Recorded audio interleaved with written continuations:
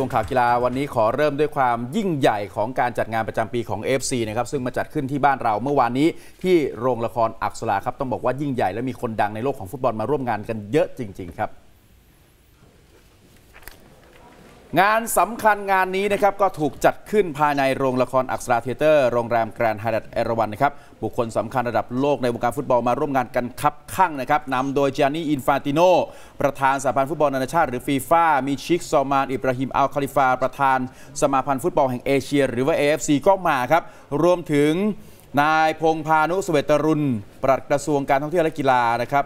บิ๊กอ๊อดพลตำรวจเอกสมยศพุ่มพันธ์ม่วง นายกสมาคมฟุตบอล ในฐานะของเจ้าบ้านครับก็ให้การต้อนรับและร่วมจัดพิธีประกาศรางวัลจนสำเร็จลุล่วงครับ งานนี้นอกจากเหล่าบรรดาผู้บริหารระดับสูงแล้วยังมีนักฟุตบอลมีอดีตนักฟุตบอลมาร่วมงานด้วย พาร์คจีซอง ดไวท์ยอร์กอดีตสองนักเตะของแมนยูก็มาครับ โดยไฮไลท์สำคัญของงานเป็นการมอบรางวัลที่ต้องบอกว่าเป็นรางวัลที่แฟนบอลชาวไทยให้ความสนใจครับ ก็คือตัวแทนหนึ่งเดียวจากประเทศไทยนะครับ เจ้าเนิร์สจิรวัตรสอนวิเชียร นักฟุตซอลทีมชาติไทยสังกัดสโมสรพีทีทีบลูเวฟชลบุรีซึ่ง มีชื่อติดหนึ่งใน 3 ของ candidate สุดท้ายที่จะลุ้นรางวัล นักฟุตซอลยอดเยี่ยมแห่งเอเชีย แต่ท้ายที่สุดรางวัลนี้นั้นตกเป็นของอาลีฮัสซันซาเดจากอิหร่านที่ได้รางวัลนี้ไป 3 สมัยติดต่อกันครับฟังเสียงจิรวัตรสอนวิเชียรครับ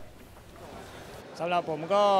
ยังไม่คิดจะเลิกเล่นครับ ผมวางเป้าหมายว่าอีกสัก 4 ปีประมาณสัก 30 นิดๆนะครับ ก็